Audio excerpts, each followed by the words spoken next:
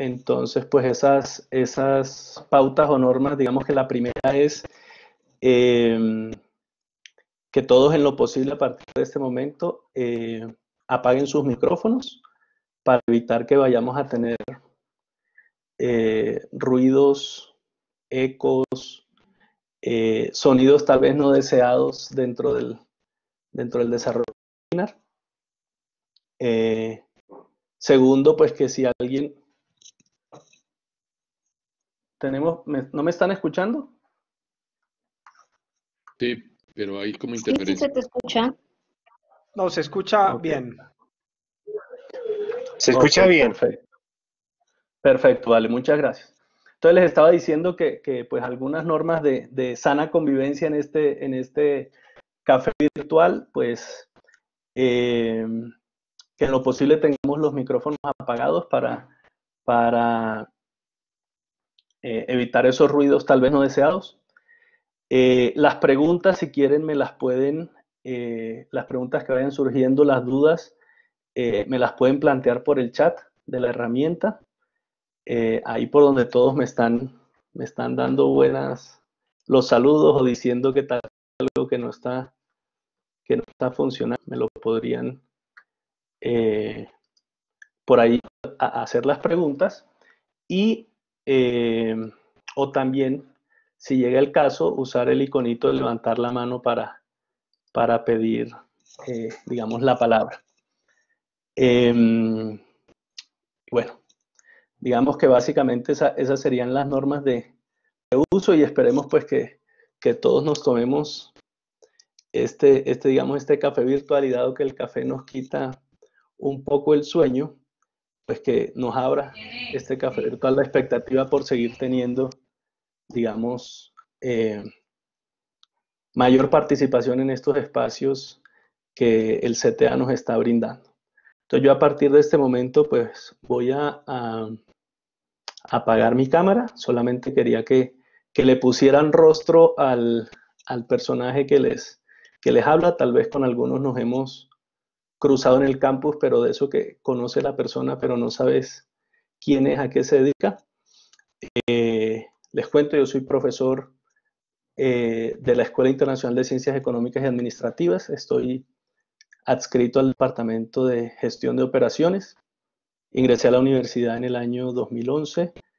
Eh, desde que me vinculé hasta el 2014, que me dio mi doctorado, estuve dirigiendo el programa de Administración de Mercado y Logística Internacionales y cuando regresé del doctorado, pues asumí la coordinación del, equipo que lideró la creación del doctorado en Administración de Organizaciones, que recientemente se aprobó para la escuela. Y también lidero pues el grupo de, investigación en, en, operaciones y cadenas de suministro. Entonces, quien les habla es un, es un ingeniero con conocimientos en logística y que por accidente se ha tropezado con las con las tecnologías educativas. Entonces, eh, eso, ese, ese, digamos, apellido de experto que me, que me puso el CTA, pues lo agradezco, pero creo que, no, hace, no hace justicia a la calidad de usuario que soy. Entonces, voy a apagar aquí la, la cámara y les voy a compartir la presentación.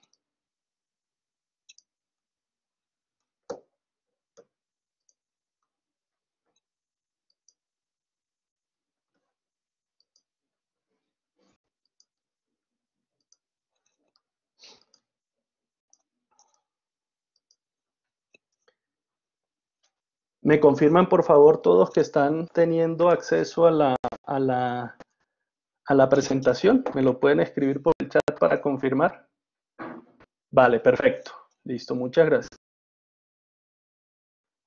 Bueno, entonces, eh, como ya lo decía, este café virtual organizado por el CTA, eh, lo titulamos ¿Cómo hacer un encuentro electrónico exitoso?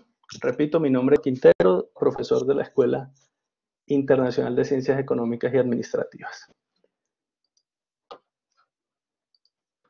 Digamos que lo que he querido yo, o la propuesta de, agenda que tengo para este, para este encuentro, para este café virtual es, eh, digamos, está básicamente dividido en dos, en dos puntos. El primero es, pues, sentar las bases de lo que vamos a, hablar en este rato y es poder definir qué es un encuentro sincrónico exitoso y posteriormente, pues, mencionar algunas, eh, digamos, buenas prácticas que considero que nos pueden ayudar para garantizar el éxito de ese encuentro sincrónico. Y esas buenas prácticas las he clasificado pues en términos de, las personas que participan de los encuentros sincrónicos, de la tecnología eh, asociada a ese, encuentro, esa tecnología que nos soporta los encuentros sincrónicos. Em, en cuanto a los recursos también de apoyo que podemos necesitar para adelantar con éxito esos encuentros exitosos, temas relacionados con el ambiente que se requiere para para que el encuentro se pueda de manera exitosa. Y por último, hablar como del encuentro, buenas prácticas durante el encuentro y sus, y sus distintos momentos.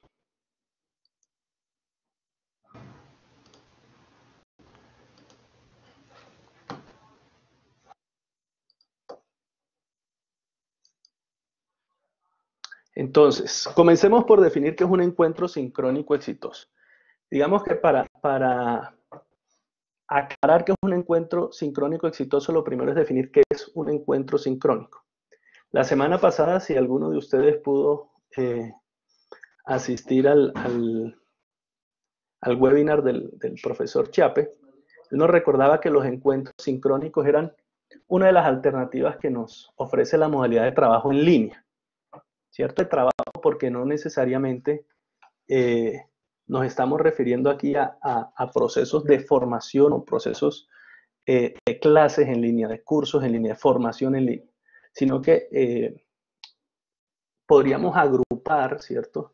Los encuentros sincrónicos, digamos que en, categorías mucho más grandes, y yo lo, he querido denominar trabajo, porque sencillamente los encuentros que desarrollamos podemos adelantar distintas tareas, sobre todo tareas muy diferentes a lo que es dictar una clase. Entonces, el, trabajo en línea nos ofrece dos modalidades, la modalidad sincrónica y la modalidad asincrónica. En esa, en esa modalidad eh, sincrónica o la diferencia en esos dos, en esos dos tipos de, de alternativas es que básicamente en el encuentro sincrónico los participantes, que pueden ser los moderadores, los orientadores, los que convocan el evento y también los invitados o los participantes, ¿cierto? Interactúan haciendo uso de las herramientas de trabajo en línea soportadas en tecnologías de información y comunicación, interactúan en un mismo intervalo de tiempo, ¿cierto?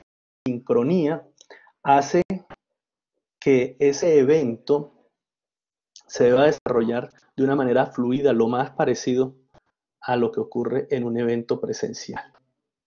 Y digamos que ese encuentro no se limita únicamente a escenarios académicos. Nosotros podemos hacer eh, encuentros sincrónicos, por ejemplo, para hacer reuniones de trabajo. En esta última semana, último par de semanas, nos ha tocado recurrir mucho a esta, a esta modalidad para sesionar en las comisiones eh, de facultades, en las comisiones de programa, también para adelantar por ejemplo, trabajo colaborativo en la elaboración de propuestas o en el trabajo de, eh, en la construcción o creación de artículos científicos.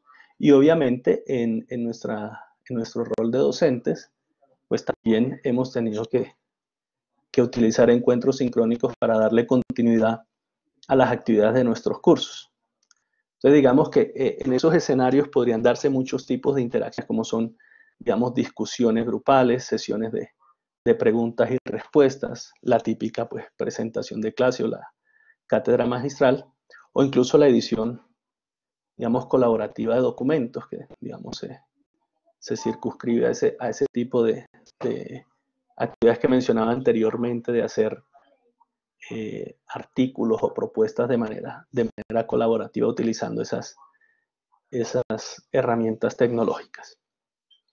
Entonces, digamos que esas tres características, digamos que para mí constituyen lo que es un encuentro sincrónico.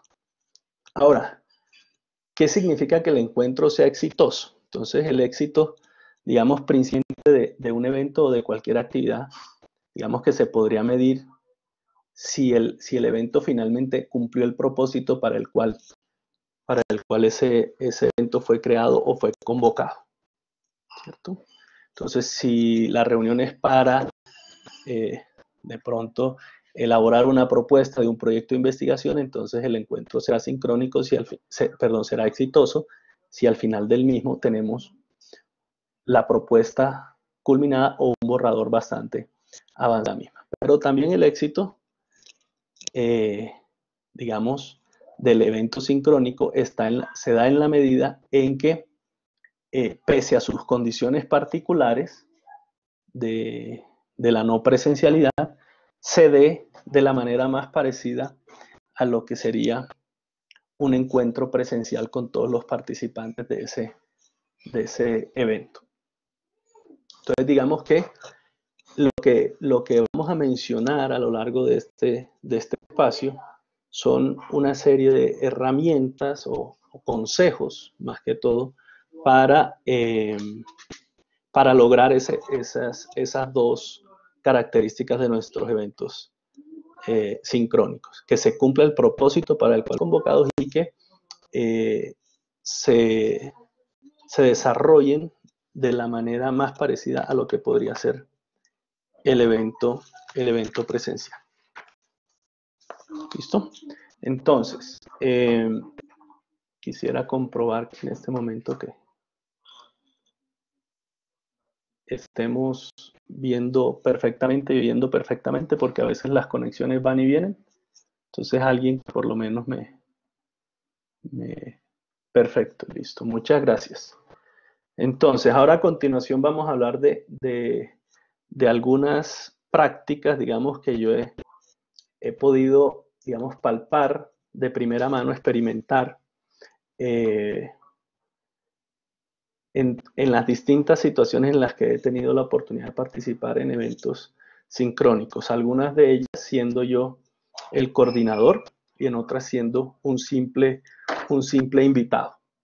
Entonces, em, lo primero que quiero decir es que estos consejos o estos tips están basados en la experiencia propia de quien les habla, ¿cierto? Eh, básicamente tuve un acercamiento muy, muy eh, cercano eh, con los encuentros, eh, eh, encuentros crónicos en línea durante el desarrollo de, mi doctorado. Yo hice mi doctorado en una universidad que, que el 100% de la formación lo da en línea, pero pues la investigación la desarrollé durante los tres años de manera presencial gracias a una beca. Entonces allá, digamos que tuve la posibilidad de, de, aprender, digamos, de los expertos y, y cada vez que tengo la, posibilidad de, adelantar yo un encuentro sincrónico, eh, trato como aplicar esas buenas prácticas que vi. Entonces, todo está basado en la experiencia propia.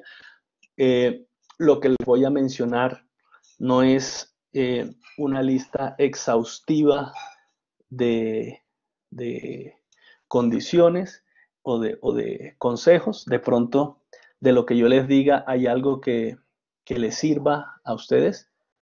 De pronto hay muchas cosas que ustedes hacen que se quedan por fuera, entonces en ese sentido todas las sugerencias y todos los aportes eh, que quieran hacer eh, son bienvenidos. Em, la clasificación que hago de estas, de estos consejos por esos grupos que mencioné en la agenda de recursos, de personas, de, la tecnología asociada.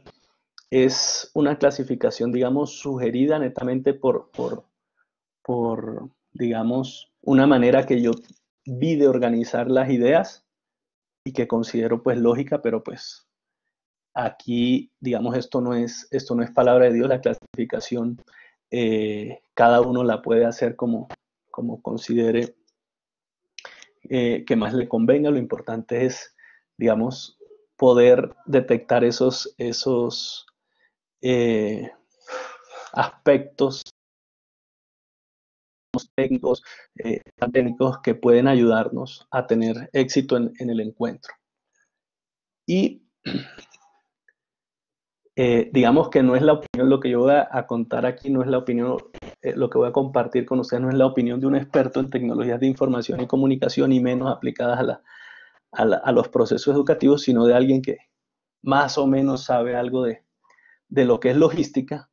Y digamos que esos tips están, están yo los veo como principios de, de logística, de buenas prácticas logísticas eh, aplicados a, a, estos encuentros sincrónicos. Entonces, eh, los logísticos, digamos que sabemos que eh, todas las cosas pueden fallar y entonces nos encargamos de diseñar esos, esos procesos para que no fallen cuando los estamos ejecutando.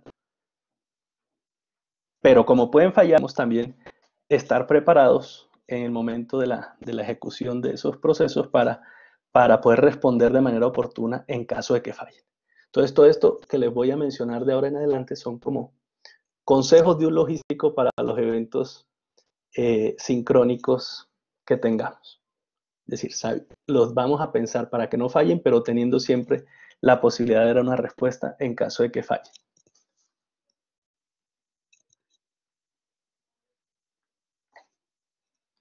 Bueno.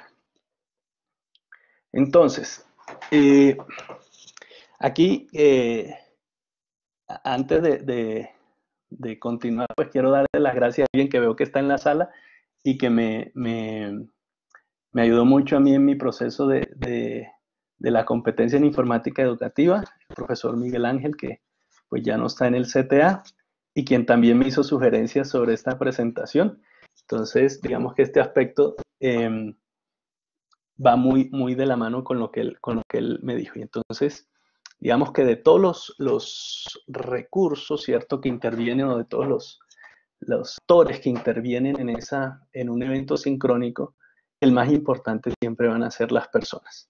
Entonces, eh, digamos que incluso desde la concepción de las personas que participan en el evento sincrónico, nosotros tenemos que tomar precauciones o tener medidas para que eh, el evento se desarrolle eh, de la mejor manera posible y que se pueda cumplir el, propósito para el cual fue, fue convocado. Entonces, lo, primero que tenemos que hacer es, digamos, definir características de los, de los participantes que convocamos a esos encuentros sincrónicos. Y lo primero, el primer consejo es que los participantes deben ser los adecuados, ¿sí? Y, el que sean los adecuados eh, va muy de la mano con el propósito para el cual fue creado el evento sincrónico. Si yo estoy, eh, convocando el evento sincrónico para una toma de decisiones importante, entonces las personas que sean invitadas a ese evento sincrónico tienen que tener esa capacidad o ese poder de decisión dentro de la organización, porque si no el encuentro no será exitoso. Pero si mi evento sincrónico es, es una, una, em, una sesión de clase, pues tengo que obviamente participar a los estudiantes y los del grupo correcto de clase que tiene, que tiene en ese momento la, sesión eh, en línea. Lo otro es que eh, tampoco conviene citar a personas que no son necesarias dentro del evento, porque pues, estaríamos jugando con su tiempo, con su tiempo eh, laboral y los estaríamos ocupando en actividades que tal vez no son de su, de su interés.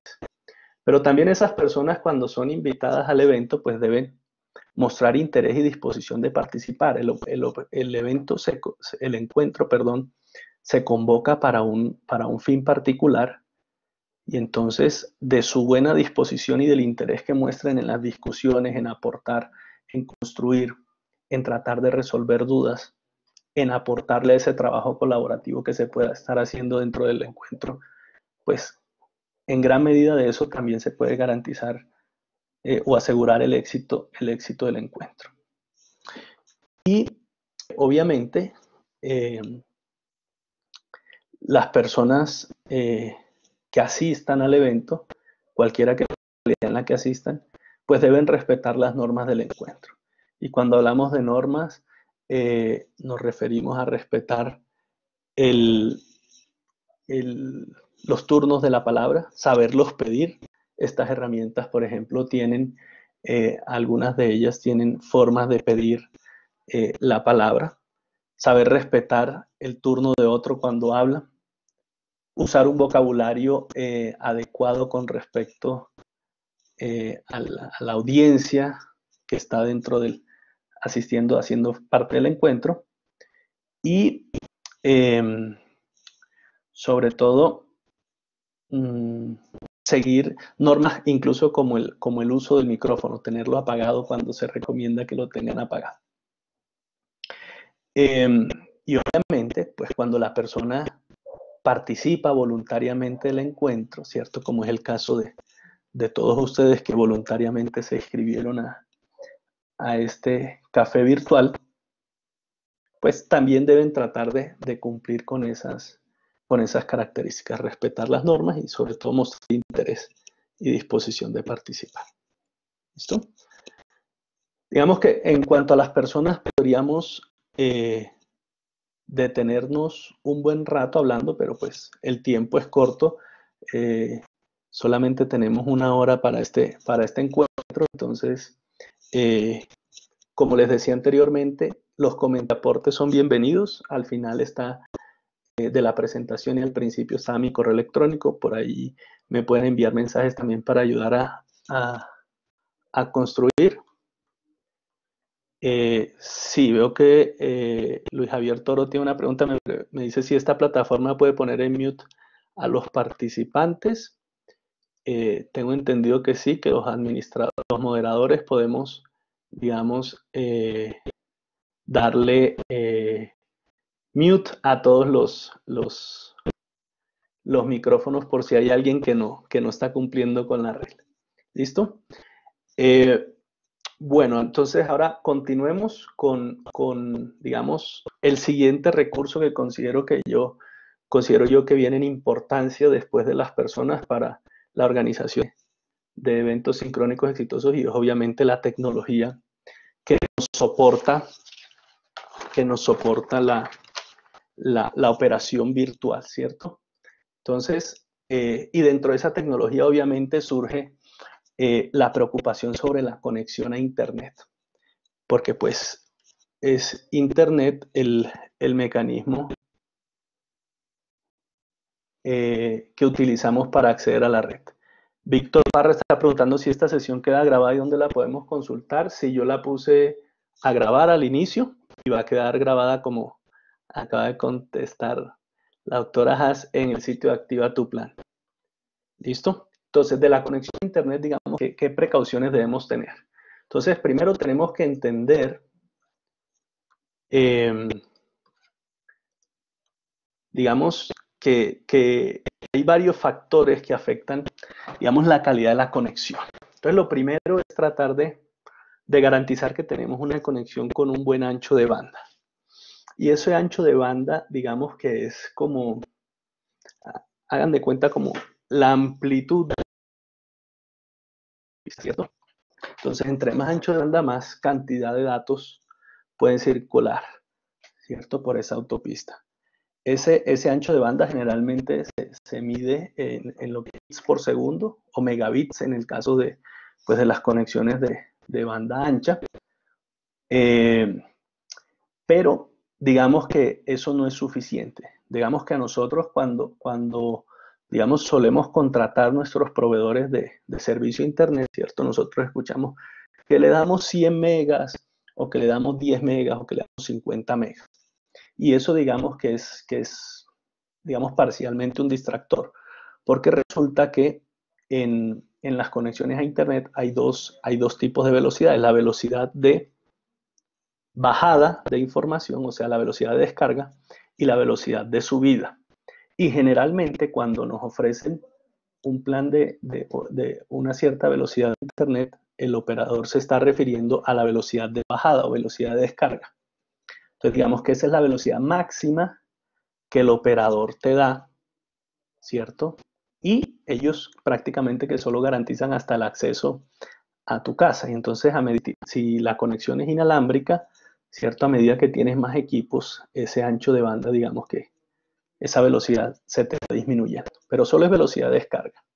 Y entonces en estos eventos sincrónicos, digamos que hay dos, como dos partes, ¿cierto? La parte que está organizando o que está eh, moderando la reunión, como en este caso soy yo, ¿cierto? En este momento, para el rol que yo estoy desempeñando, más que la velocidad de descarga, digamos, interesaría la velocidad de subida, porque yo estoy transmitiendo, yo soy el que está enviando, digamos, la presentación mía, se está enviando también el audio de mi, de mi, de mi equipo y hace un momento se transmitió el video.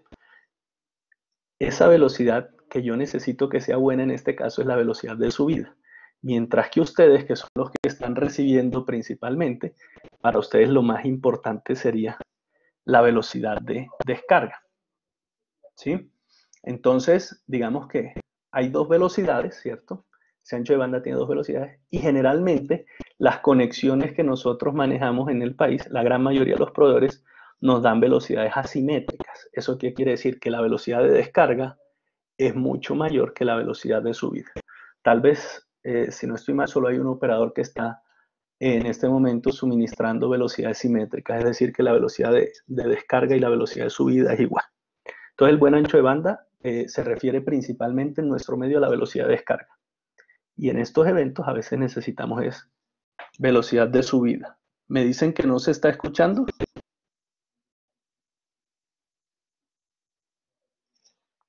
Ok, perfecto. Gracias.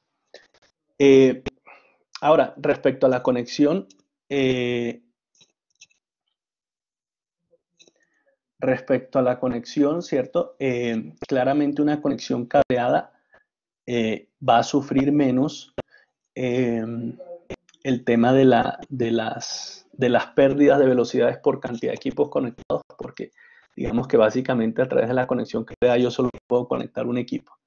Mientras que la conexión inalámbrica, que es la que tenemos la gran mayoría de nosotros, pues está muy por, por la, por, en primer lugar, por la cantidad de equipos que se conectan y segundo también por las barreras que pueda tener esa señal para transmitirse. Entonces, por ejemplo, en apartamentos, ¿cierto? Los muros y las paredes que son, sobre todo donde hay muros que corresponden a columnas en un edificio que es son, eh, son de concreto, esas columnas son muy difíciles de, atravesarse por, por parte de la, de la señal inalámbrica. Entonces hay ciertas zonas donde uno dice, como mi casa, eh, aquí esto no funciona muy bien. Entonces le toca uno buscar repetidores o amplificadores de señal eh, para garantizar que en todos los, los, espacios de la vivienda, pues pueda tener uno, uno una buena conexión.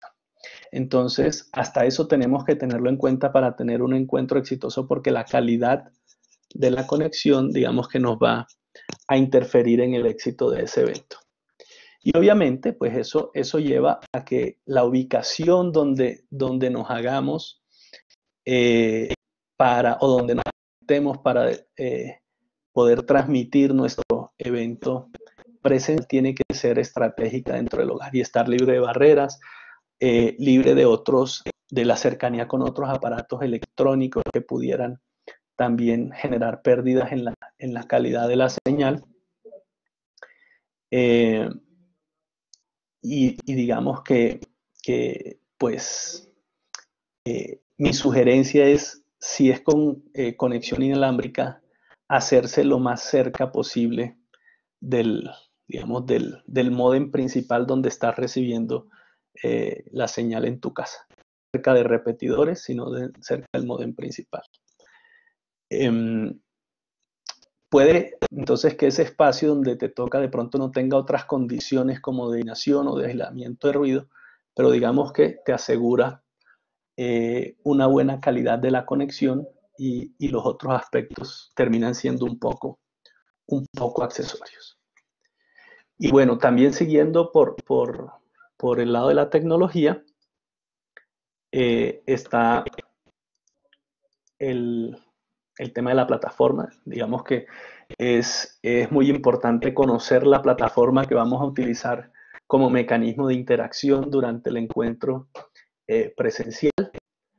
Eh, con respecto a la plataforma, pues podemos, digamos, algunos, el consejo es primero evaluar si me, para el evento que estoy organizando, dependiendo del número de personas, dependiendo de las características que yo necesite dentro de, ese evento en particular, si es suficiente solamente con, plataformas de acceso libre o se requieren eh, contar con plataformas de pago. Casi todas las plataformas de pago también permiten el acceso libre, ¿cierto? Pero pues nos limitan algunas de ellas en cuanto al número de usuarios que simultáneamente pueden participar o estar conectados del evento y también a los tiempos de conexión de las llamadas. Entonces, algunas de ellas, por ejemplo, nos limitan el, el tiempo eh, de conexión a 40 o 45 minutos. Entonces, si nuestros encuentros sincrónicos son eh, de una duración menor a ese tiempo o están previstos para una duración menor a ese tiempo, pues no sería suficiente con esas herramientas de acceso libre.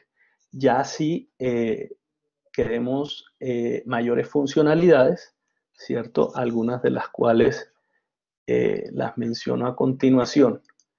Y, y tiempos de conexión un poco más grandes, pues definitivamente la opción es utilizar herramientas, herramientas de pago. ¿Listo? Eh, bueno, estoy viendo que muchos de ustedes están haciendo aportes sobre cómo consultar las velocidades de subida y bajada. Eh, ahí hay varias y, realmente son, son opciones bastante, bastante buenas.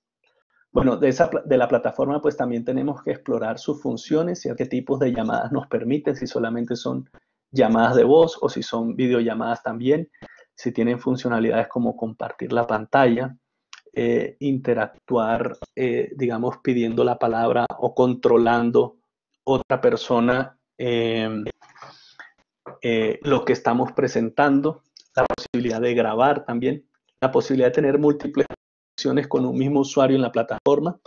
Por ejemplo, esto, esto para mí ha sido de, de gran utilidad usando la plataforma de Microsoft Teams en esta, en esta última semana, porque con, me puedo conectar simultáneamente con el computador y con el, y con el teléfono, entonces a veces eh, las preguntas de los estudiantes las veo por el chat en el teléfono y no tengo que estar cambiando de una pantalla a otra en el computador. Em, también, em, obviamente, eh, ver si la plataforma que vamos a utilizar funciona sobre, sobre el browser o si hay que descargar alguna aplicación, porque pues sabemos que en algunos, en algunos entornos laborales, eh, digamos, eh, se, necesitan, se necesitan permisos o privilegios de administrador para poder instalar esas aplicaciones, entonces a veces eh, el que te las instalen toma cierto tiempo de, de respuesta y, entonces si no llegan a tiempo a instalártelas, de pronto el evento no se desarrolla normalmente. De hecho, algunas aplicaciones te recomiendan ellas mismas que para eventos presenciales no utilices la versión, sino la versión eh, eh, de la aplicación, por ejemplo, en Teams, él, te hace esa sugerencia claramente, entonces te va a permitir funcionar mejor en los encuentros Y pues la mejor forma, digamos, o, una de las, de las mejores formas para conocer las plataformas, pues es primero hacer eh, tutoriales. Me están diciendo que se está cortando un poco. Me confirman, por favor, si ya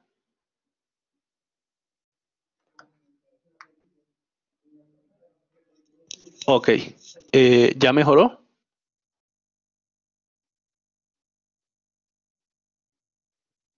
Listo, perfecto. Entonces continuamos. Entonces decía que pues las, las, las, digamos, las conexiones, digamos, las formas para aprender por excelencia, para mí la práctica es, es fundamental. Entonces lo primero que yo suelo hacer es, digamos, como decimos coloquialmente, cacharrearle a la, a la, a la aplicación y luego pues obviamente consultar en tutoriales si hay funciones un poco avanzadas que no, que no podamos entender. Y bueno, plataformas hay muchas, ¿cierto? Pues conocemos de hace tiempo Skype, Hangouts, que es el equivalente de Skype, pero en, en Gmail, está Webex, está Zoom, está Meet, que es la, como la solución profesional de Hangouts, está Teams, que parece que va a ser la evolución del, ahora que Microsoft es el, el propietario de esa, de esa plataforma. Pero sobre todo lo más importante yo creo que es probarla y, eh, digamos, evaluar uno sus funcionalidades, ver si tiene posibilidad de grabar, dónde te graba, si se enlaza con otros servicios, como por ejemplo ocurre con estas plataformas integradas como, la de, como las de Microsoft o las de Google entre ellas.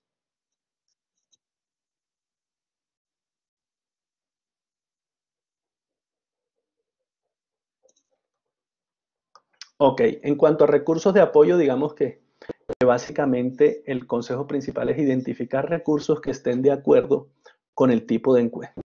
Por ejemplo, si mi encuentro sincrónico es una reunión de investigadores para trabajar en la, en la edición de un paper y uno de un equipo de investigación está en un país o en, o en una ciudad distinta en la que se encuentra el otro, pues claramente los editores de texto orativo son un recurso eh, indispensable para el desarrollo exitoso de ese, de ese encuentro. Entonces, editores de esos colaborativos eh, hay muchos, ¿cierto? Particularmente yo he encontrado, por ejemplo, que Google Docs funciona muy bien para edición de manera simultánea. Eh, para los que trabajamos con, con, con, LaTeX, ese lenguaje especial de edición y codificación de texto, especialmente donde aparecen las matemáticas, pues hay plataformas también, recursos colaborativos de edición como, como son Overleaf o como son ShareLatex.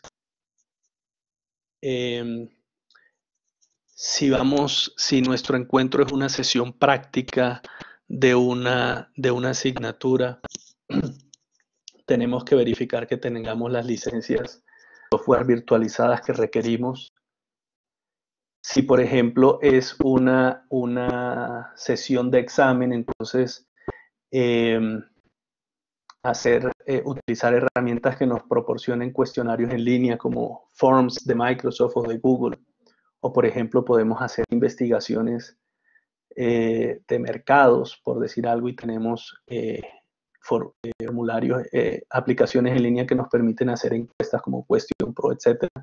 Pues son recursos que nos van a ayudar a alcanzar ese éxito del encuentro. Y obviamente, pues eh, en los entornos de, nuestras clases, todo lo que son juegos de aprendizaje como el Kahoot o como el Quizzes, ¿cierto? Que son herramientas que incluso nos ayudan a despertar un poco la, audiencia a nuestros estudiantes y a ponerles a ellos, digamos, darles parte protagonismo de, la, de, ese, de ese encuentro. ¿Me confirman que se esté escuchando bien, por favor? Yo escucho bien, lo que no veo es ninguna imagen. ¿No, está bien, ¿No se está viendo la pantalla? Eh, no, básicamente tengo solo un cuadro negro y no veo ninguna imagen adicional. A mí se me, me acaba de sacar, ya vuelvo y la comparto. Muchas gracias. Perfecto, usted, gracias. ¿Me confirman, por favor, si ahora se ve?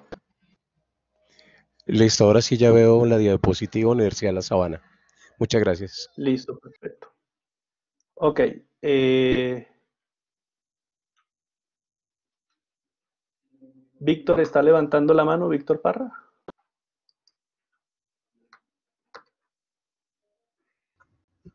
Eh, sí, Carlos, te quería preguntar eh, qué nos aconsejas, por ejemplo, cuando tenemos que hacer una evaluación pero la evaluación tiene que integrar una parte de video y luego el formulario de respuestas. ¿Conoces alguna herramienta que me pueda ayudar?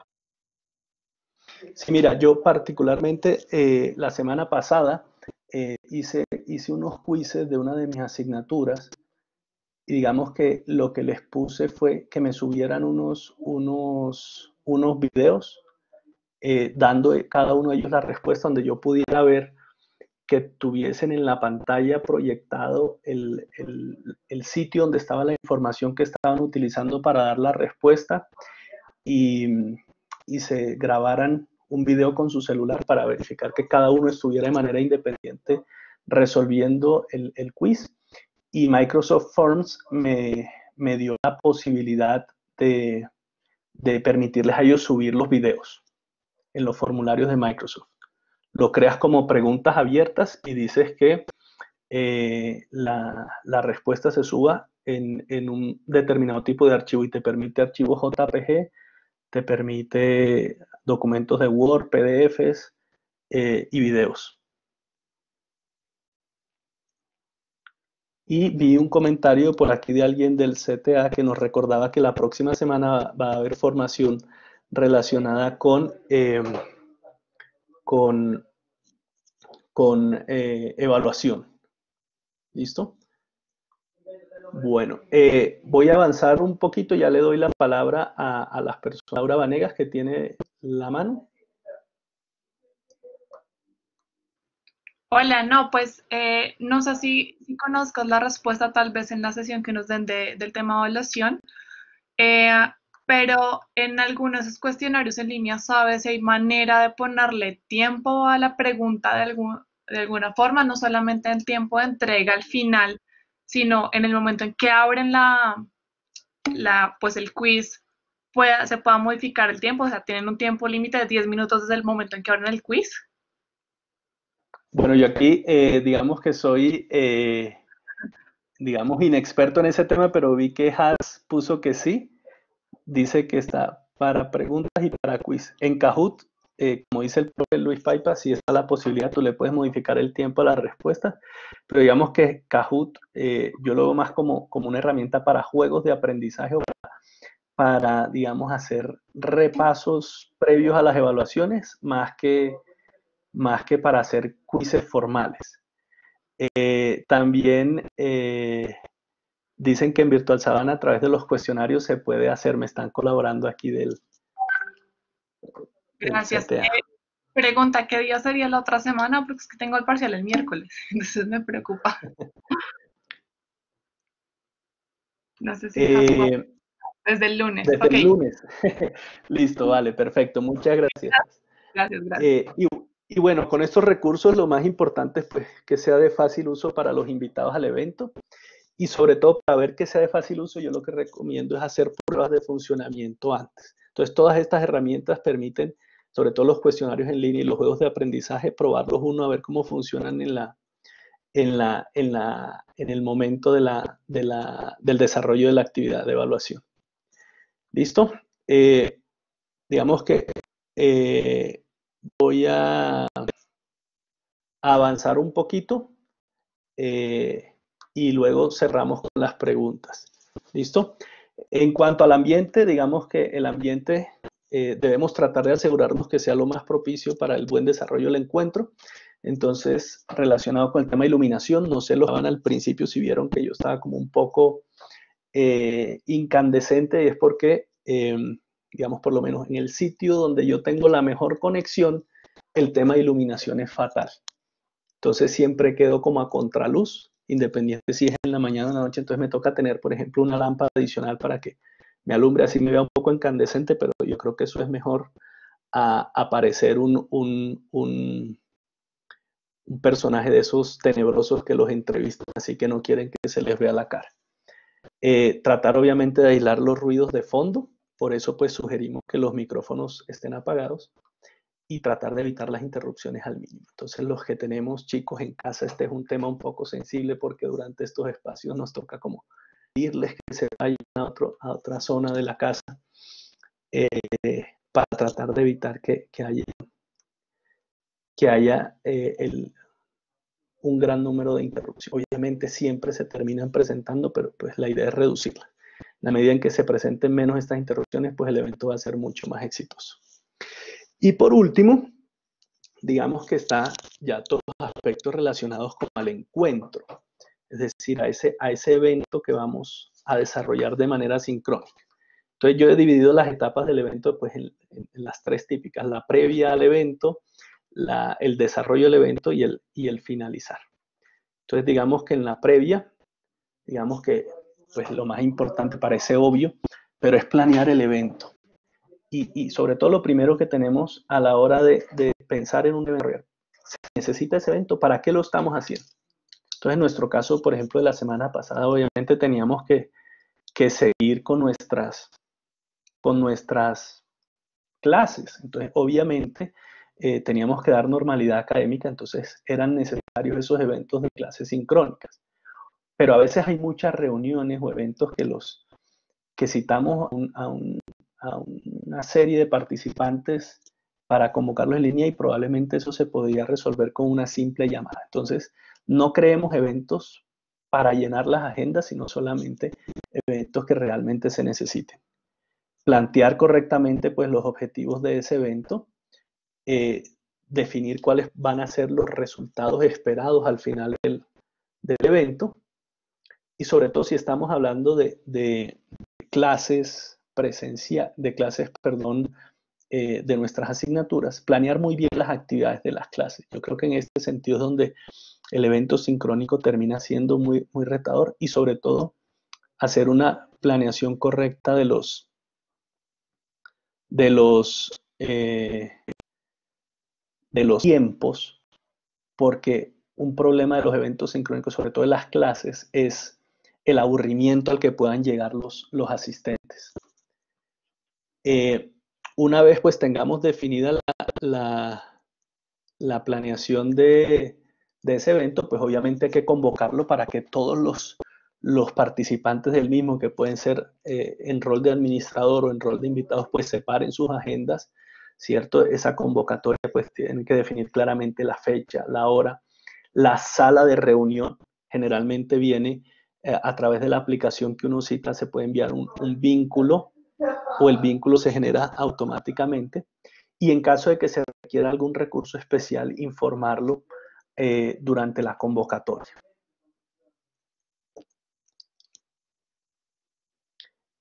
Eh, obviamente asegurarnos que los participantes hayan recibido esa convocatoria y verificar pues que nos confirmen eh, su asistencia porque pues si no hay personas que fue el primer el primer digamos grupo de, de, recursos que analizamos cierto pues el evento no se podrá no se podrá desarrollar y obviamente hacer pruebas. De pronto la, noche anterior o la mañana antes del evento, hacer pruebas de conexión, hacer pruebas de sonido. Obviamente sabiendo que la prueba funciona en el momento en que se realiza, pero pues espera uno que eh, si está funcionando eh, durante la prueba, pues funcione relativamente bien durante el desarrollo del evento.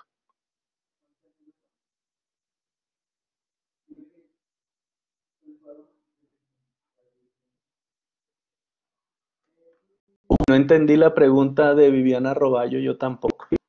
Si hay alguien en, el, en la sala que pueda dar respuesta, eh, agradezco que por el chat eh, lo haga. Eh, preguntan si recomendamos comprar micrófono para las clases. yo las he hecho de, con, directamente con el micrófono que trae incorporado el computador y me ha ido bien y también las he hecho con audífonos conectados que tienen la opción de micrófono y también me ha ido bien. Entonces no, tengo una recomendación, eh, digamos, particular.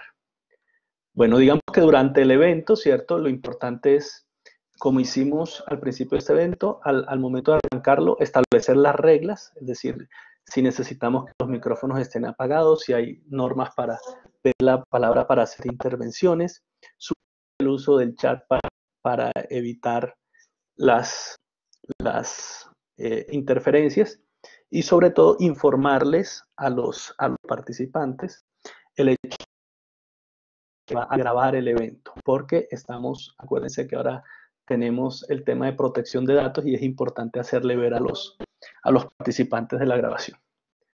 Obviamente, validar que todos, que todos los participantes hayan entendido las reglas que, que se dieron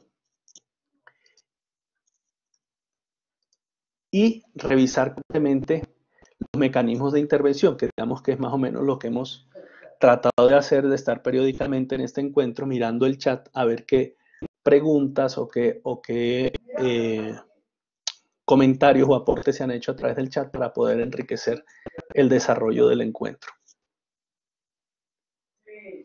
es una buena práctica dejar que los estudiantes graben las clases de Teams. Pues en mi caso, eh, quien las graba soy yo, quien da el botón de grabación soy yo y automáticamente luego el, el Teams la vincula eh, justo donde hiciste la convocatoria y los estudiantes pueden utilizar ese material como consulta. Ya vamos a ver, ¿cierto? En, en, este último slide que tengo, bueno, eh, en la del finalizar, que la grabación es realmente necesaria porque también le permite a aquellos que por problemas de conexión no pueden estar o por problemas de agenda no pueden participar del encuentro sincrónico, pueden posteriormente enterarse de lo que se dijo, de lo que se discutió, de los compromisos que se establecieron. E incluso para los que estamos aquí podríamos volver a verlo y volver a, extraer nuevas ideas y nuevas, em, digamos, eh, sugerencias que de pronto se nos pasaron por alto.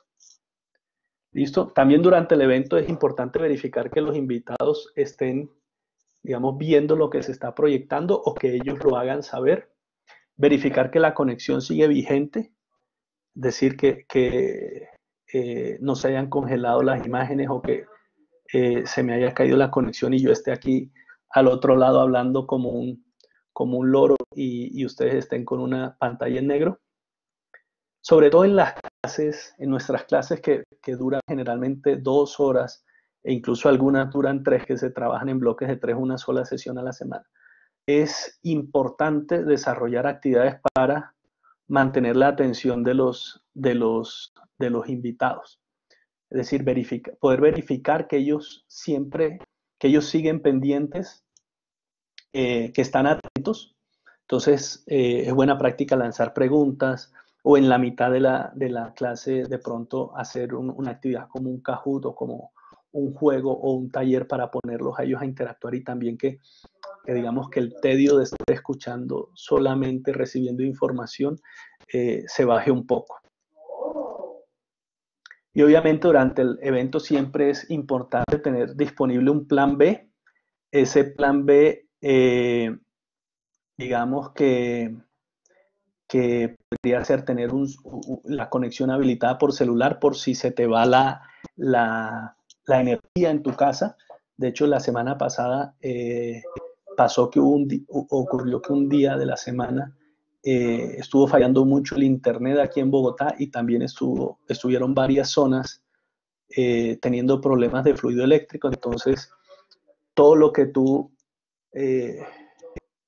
tengas como plan B para suplir esas posibles fallas de, fluido eléctrico de conexión. Entonces yo, por ejemplo, mis estudiantes tenían quiz y les dije eh, en el Teams, les puse, para mañana necesito que esta noche sus equipos cargados para evitar cualquier interrupción, tener los celulares a la mano.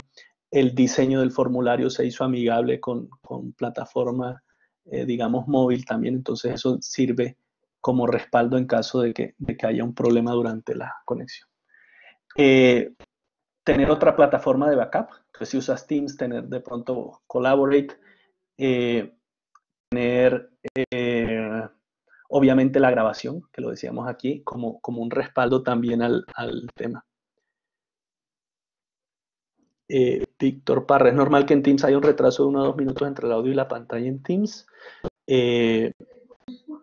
a mí me ha pasado muy pocas veces.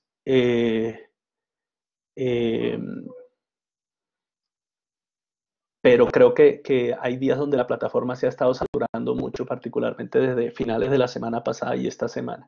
Entonces puede ser más un tema de capacidad de la plataforma, porque normalmente eh, no ocurría.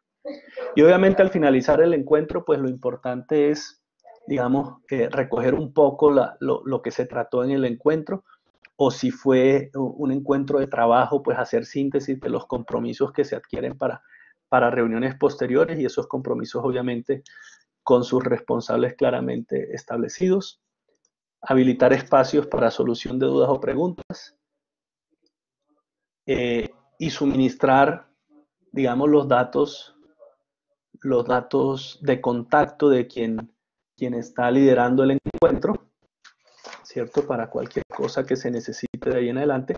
Y pues si es posible concederles eh, inmediatamente acceso a la grabación del evento o informarles a los asistentes, a los participantes, en qué sitio va a quedar alojado ese, esa, esa grabación.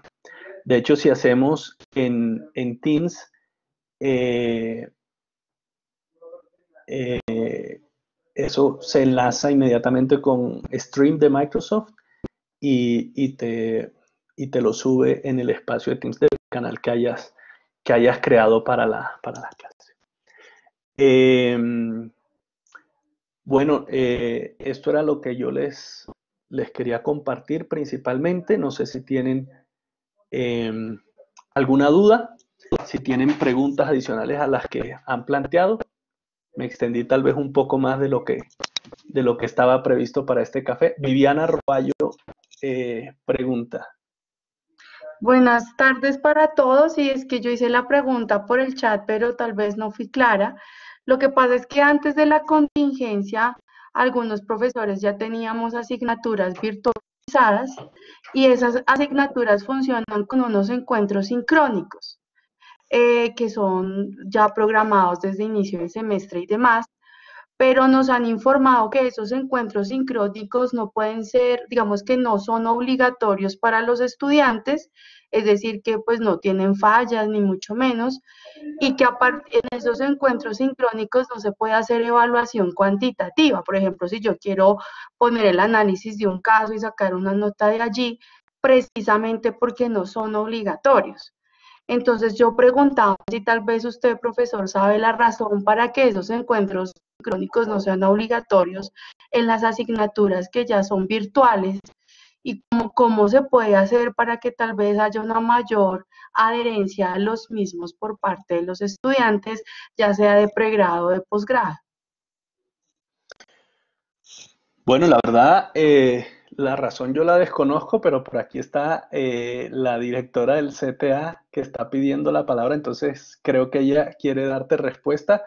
Eh, yo lo único que supe en relación con la asistencia nos pidieron fue flexibilidad la semana pasada por el tema del, cambio que tuvimos que, dar en la, en la modalidad debido a la contingencia, pero la situación que tú planteas la desconozco. Entonces le voy a dar la palabra a Has para que ella nos comente.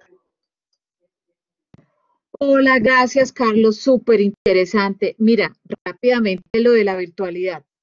Nosotros tenemos maestrías y programas virtuales donde el manejo de los créditos tiene ya ese, esa, esa composición de lo sincrónico y lo que no es. En nuestras maestrías tenemos, por ejemplo, tres encuentros sincrónicos, pero hay estudiantes donde no se les obliga, precisamente es por la misma flexibilidad, pero eso depende de cada programa. En este caso, que es otra cosa, pues aquí sí se tienen en cuenta las asistencias a los estudiantes, ¿no? Esto es una clase normal, pero en otro medio. En cambio, para, la, para lo virtual sí se maneja diferente. Tendrías que preguntar, no sé si será de una maestría o alguna asignatura en pregrado, pero esto ya es particular de cada programa académico. Vale, el profesor Luis Paipa hace un aporte, eh, digamos, bastante interesante y fue que eh, hubo un microcurso sobre aulas invertidas, ¿cierto? Que digamos que es una estrategia eh, bastante bastante, digamos, interesante eh, para mantener la atención de los estudiantes durante el encuentro. Entonces, les sugiero también, digamos, consultar ese material que creo que está disponible aquí en Activa tu Plan y, y, y poder hacer más dinámicos los encuentros. El profe Jerónimo dice, yo he tenido problemas con compartir el audio de mi computadora en las sesiones de Teams ¿Hay alguna recomendación al respecto? Uy, profe. Eh, primera, primera vez que, veo eso, no sé, eh, puede ser de la, no sé, de la configuración de la plataforma, no sé, ahí sí lo desconozco. Eh, pero mira, aquí hay una respuesta que te dicen eh, revisar la versión web de Teams. Yo siempre lo he usado a través de la aplicación y no me ha dado problema. Nunca he probado hacer el encuentro usando la versión web. Eh, profesor. Eh, sí, buenas tardes para todos. yo ya descargué la aplicación y me sale mucho más fácil con la aplicación descargada que directamente desde la web. Eh, pero hoy que, por ejemplo, intenté compartir un video de mi computadora de los estudiantes, el video me decían que aparecía muy bajito el volumen, entonces no sé si de pronto habrá algún truco o algo así para que, para que esto funcione mejor. Gracias.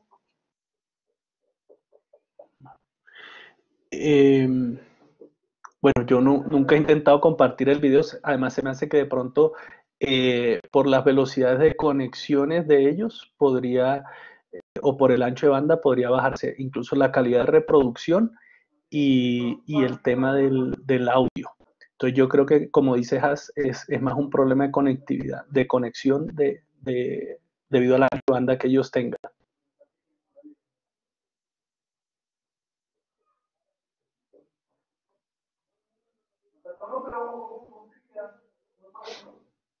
Mira, ahí te están dando otras opciones, ¿cierto? De hacer la clase invertida enviándoles el link del video para que ellos lo vean.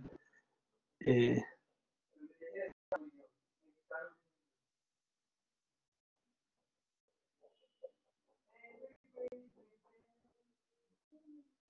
En mi caso en Teams no tengo habilitada la opción ni de chat ni la opción de grabación. Siempre le pido el favor a para que grabe. Eh, ¿Quién me podría ayudar? Yo me sugiero aquí a, ver, a, acercarte con, los profesores del CTA para darte, digamos, que ellos te den una asesoría técnica sobre el tema. A mí lo que me funciona eh, muy bien es citar previamente el evento y eh, incluso antes de que el evento se desarrolle con los estudiantes, me, te puedes unir al evento y hacer pruebas en tu, en en tu casa con otro computador que tengas o con alguien cercano eh, a ver cómo se oye. Para la grabación, si aparece un puntico, eh, aparecen tres punticos después del botón compartir pantallas y ahí te sale, eh, se te despliega una serie de opciones y ahí dice iniciar grabación.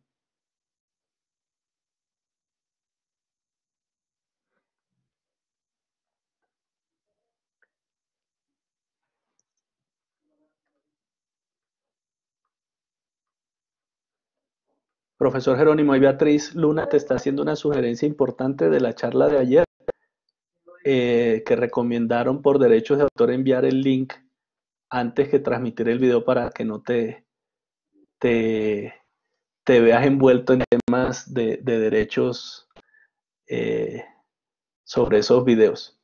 Profesor Víctor Parra tiene otra pregunta.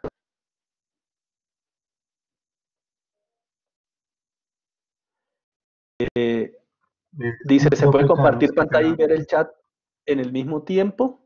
¿Era esa la pregunta? Eran dos, profe, qué pena es que no quería interrumpirte para que no perdieras el, ritmo del café, pero es que eh, cuando hice la pregunta del video y del formulario en, en, una evaluación es que, por ejemplo, yo soy profesor de Excel, de Power BI, de Tableau, y algunas veces en los quizzes necesito que el estudiante previamente vea un video en la misma pantalla y abajo en, un formulario escriba eh, opción A, opción B, opción C, opción D.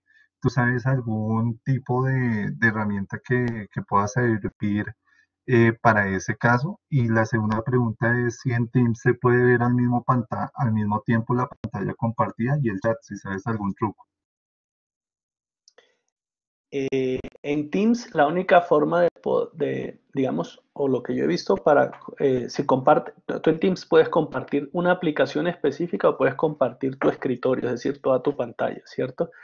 Eh, te toca estar haciendo switch, cuando compartes la aplicación te toca estar haciendo switch, cuando él te, te, queda en un recuadro pequeñito, te queda la opción de la sesión, Ahí le das clic muy rápidamente y puedes ver si hay globitos de mensajes nuevos en el chat y responder.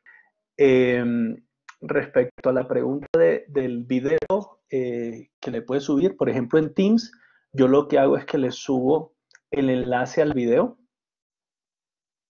¿cierto? Que es un documento en Word que tenga el enlace al video para que ellos lo abran y en la pregunta les digo, en el formulario, acceder por favor, al, abrir el archivo tal que está en, la, en, la, en, los documentos del, canal, ¿cierto? Del equipo, eh, ir a la página web, les doy todas las instrucciones y luego viene en el formulario aparte la, opción de, de respuesta para ello.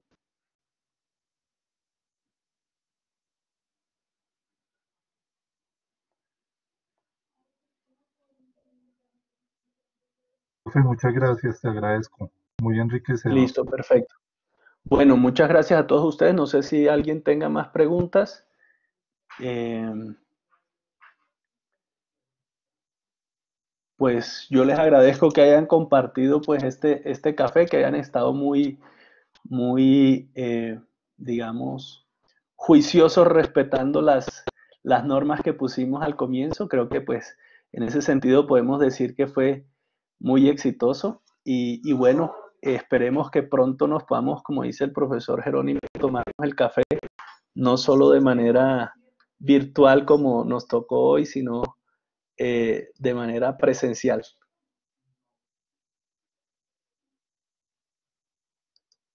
Y nuevamente, pues a todo el personal del CTA, eh, muchas gracias por la, por la invitación y por eh,